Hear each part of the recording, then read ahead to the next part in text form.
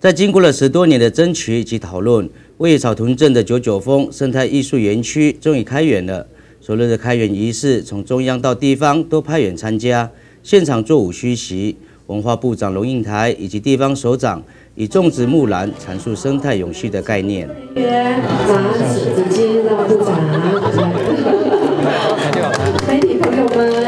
不过，其实这地方背后努力的过程是相当艰辛，主要因为这地方在九二一地震时怀疑有严重的走山，还好县内的地方人士不断的极力争取，最后如愿打造了这艺术家聚落。几十年前呢，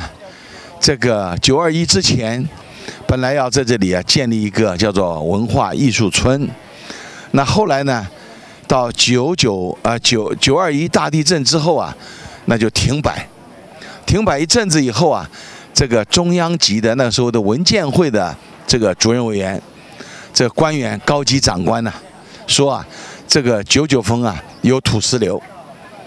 那这个建筑这个九九峰的计划呢，也就是艺术文化村的计划呢，就停止了。文化部成立之后，我又觉得说这个地方经过了前面几乎三十年的讨论来讨论去，然后你什么都不做到，最后回到所谓放弃的原点的话。我觉得可能对于南投那么大的殷殷的期待，尤其是那么多的艺术家的期待，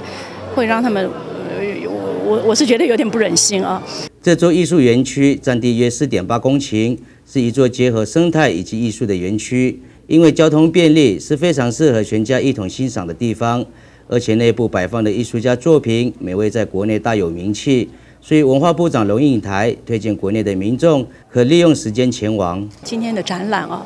心里也蛮感动的，因为这些艺术家他就完全抓到了我们对这个所谓的艺术谦虚的面对大地的这个精神，他全部都是用在地的素材来做的。那我相信这个地方会是很好的，让呃各地方的小学的老师们带着孩子们来走一趟的。那我也特别呼吁说，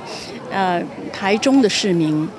彰化的市民，就整个周遭的，以后你们是不是多带孩子来九九峰，看一下呃最最朴素、最朴素的艺术创作？议员简景贤以及廖子佑在出席时表示，由于中央与地方的努力，让草屯镇成立了国内独树一帜的文化新地标，这对草屯镇民众来说是相当荣幸，也期许县内艺术技能不断提升，早日让县内艺术人才的作品都在这地方展示。民新闻黄一怀草屯采访报道。